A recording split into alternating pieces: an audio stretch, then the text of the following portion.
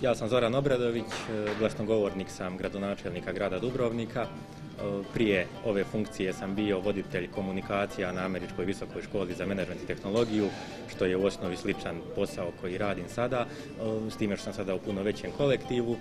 Po struci sam diplomirani ekonomist menadžmenta i evo, imam 26 godina i 3 godine radnog staža, ne mogu se požaliti.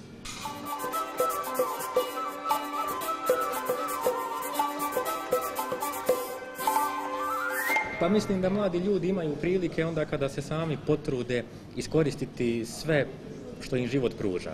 U prvom redu to je obrazovanje. E, ja moram sada istaknuti, recimo nisam nija bio svjestan nekih od programa koje samo grad Dubrovnik ima, siguran sam da ih ima još više i na nacionalnoj razini, na europskoj razini, stipendiranja, kreditiranja, pomoću kojih se u prvom redu može dobiti željeno obrazovanje.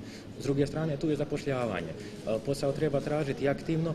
Ja sam sretan kako sam bio na ACMT-u, mi smo imali stručne prakse, ja sam praktički fakultet završio sa godinom dana staža kroz te prakse, e, tako da sam ovo pripravništvo na neki način obavio još tijekom studiranja.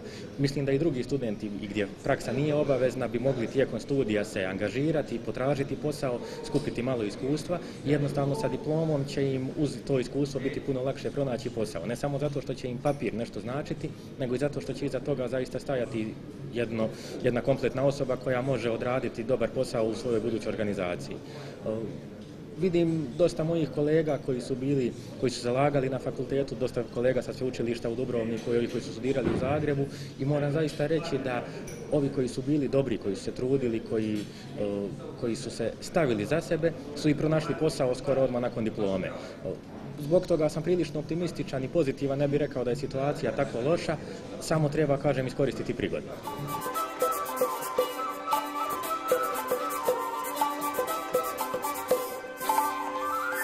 Hrvatska je tranzicijska zemlja, mi smo prešli iz jednog socijalističkog sustava u kojem se praktički garantiralo zaposlenje u kapitalistički sustav koji je dosta surov, u kojemu dosta često treba mijenjati i poslove i lokacije. To je jedna velika promjena u kolektivnoj psihi i, i recimo mojih kolega ili studenata sadašnjih ili budućih, te njihovih roditelja, zato što ako roditelji ne potiču dijete da potraži posao u drugom gradu ili ako ne potiču dijete da se može posao tražiti u inozemstvu kada nema posla ovdje, onda je teško iskoristiti sve prilike koje se pružaju, jer ne valja biti ograničen, treba razmišljati zaista otvoreno, planirati svoju karijeru i na taj način sami sebi stvarati prilike, ako ih nema u određenom krugu, proširiti taj krug. Dakle, ne treba stati i kukati. To je jednostavno može se odabrati hoće li čaša biti pola prazna ili pola puna. To je otprilike taj princip. I ako se uzme da je ona pola puna i pogleda gdje je taj puni dio, može se pronaći nešto konkretno jednostavno mislim da, da je to promjena kroz koju ćemo mi još svi skupa prolaziti neko vrijeme. E, otpor promjenama je svugdje prisutan, po tome mi nismo posebni, nismo negativna iznimka, ali jednostavno treba proći jedno vremensko razdoblje u kojem će ljudi postati svjesni da ne može biti kao što je bilo nekad, mora se gledati u budućnost, mora se otvarati novim prilikama i na taj način napredovati.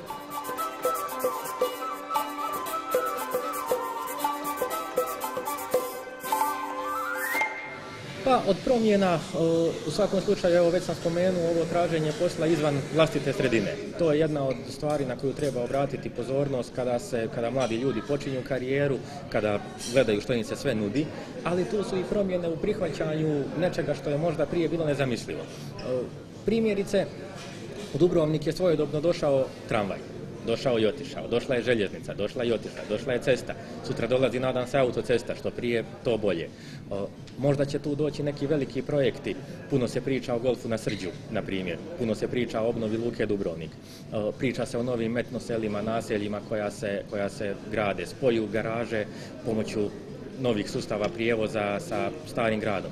To su sve stvari koje iziskuju velike promjene, ali njih one naravno sve moraju biti po zakonu, po ekološkim standardima, po propisima koje je zadala i Hrvatska država i grad sam i koji su dio strateških planova za naš razvoj, ali od njih se ne smije bježati i ne smije ih se a priori odbacivati dok se ne preuzmu i ne pogledaju svi aspekti, jer inače ćemo doći u stagnaciju, a da smo stagnirali recimo u 15. 16. 17. stoljeću, nikad ne bi imali ovakav grad koji se danas naziva biserom e, Mediterana, e, biserom Jadrana, nikad ne bi imali ovakve spomenike, palače, jer sve ovo što sada vidimo oko nas je bilo u odnosu na, na svijet puno ispred svoga vremena. Šteta bi bilo da sada ostanemo ne samo u svom vremenu, nego iza njega. Nezgodna je stvar što nekad te promjene, posebno kroz ovaj kapitalistički sustav gdje kapital često vlada, gdje su tržišni zakoni, odluke se donose sukladno zahtjevima tržišta, a nekad se ljudima čini da se ne sluša dovoljno njih. Tu je uloga vlasti jako važna, uloga države, uloga grada, gradske uprave, e, poslušati svakoga, omogućiti svakome jednu mirnu tranziciju i osjećaj sigurnosti u vremenima kada se često, koja se često čini turbulentnima, recesijskima i kada se čini da se ponekad hvatamo svi zajedno za neke slamke spasa poput projekata koji bi donijeli materijalno zadovoljstvo.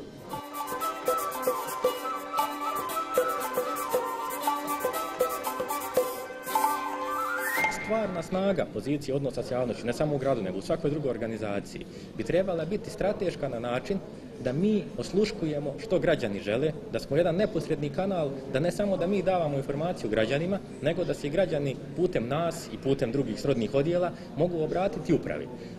To bi trebalo funkcionirati na državnoj razini, na županijskoj razini, na svakoj drugoj razini zaista bi moralo funkcionirati posebno kod tijela javne vlasti, kako bi se omogućilo u prvom redu interakcija. Jer prethodno još 50. i 60. kada je jedini način komunikacije grada Dubrovnika recimo bila oglasna ploča i službeni glasnik do kojega je bilo relativno teško doći, fizički teško mu pristupiti jer nije bilo interneta, do danas kada se mi možemo uključiti i u rasprave na forumima, kada možemo građane obavještavati putem Facebooka.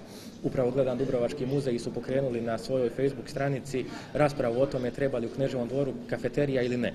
Prethodno bi se jedna takva odluka donijela samo u jednom uredu direktora ili gradonačelnika ili bilo koga drugoga tko upravlja jednim tijelom javne vlasti, sada se mogu poslušati građani izravno, čuti stavovi i potome oblikovati jedno cjelovito mišljenje. Mislim da nam je tu tehnologija i struka odnosa s javnošću dala jednu veliku prednost u odnosu na prošla vremena, samo je moramo znati iskoristiti. I sada dolazimo na onaj bitni dio, ja sam rekao dakle strateška uloga odnosa s javnošću, sada trebamo doći do strateškog planiranja. Svi moraju postaviti ciljeve gdje bi željeli biti i kako do toga mjesta gdje bi željeli biti kako do toga doći. Jer bez strateškog planiranja se ne može znati što trebamo ostvariti, što su ciljevi kratkoročni i dugoročni i onda ne možemo pratiti nečiju uspješnost, jednostavno nečiju kvalitetu u radu. Druga strana, građani, sve ostale javnosti, mogu vidjeti u svakom trenutku jesu li zadovoljni ne samo ostvarenim, nego i samim postavljenim ciljevima i na njih reagirati.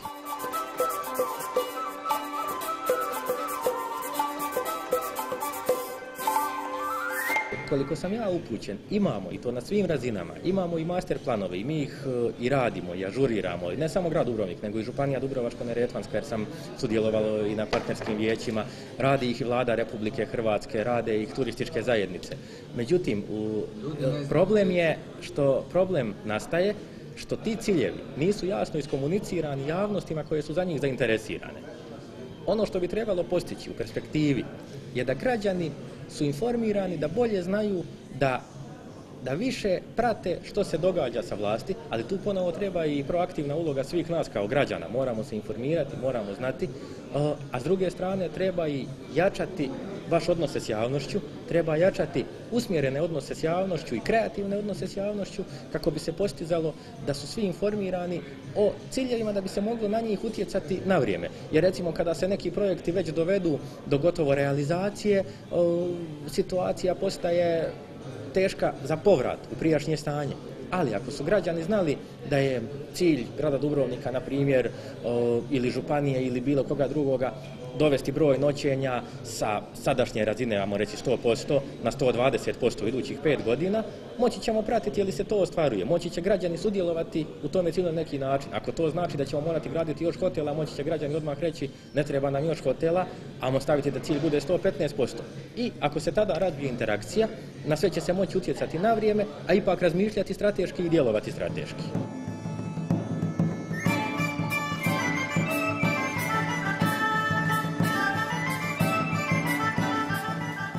Poanta je da svi moramo biti informirani, svi se moramo uključiti na sve dostupne načine i u rad tijela javnih vlasti i u rad korporacija, pratiti što se događa u našoj okolini, ali ne samo u gradu, nego i u široj zajednici, u državi, međunarodno, koji su trendovi i s informacijama, sa znanjem vraćam se na jednu staru poslovicu, znanje je moć. Zaista znanje jest moć jer jedino ako imamo znanje moći ćemo reći mi smo tu, želimo doći na mjesto B, do toga ćemo doći pomoću koraka 1, 2, 3 4 i pratiti je li ih svi članovi zajednice e, pravovremeno i pravovaljano ostvaruju.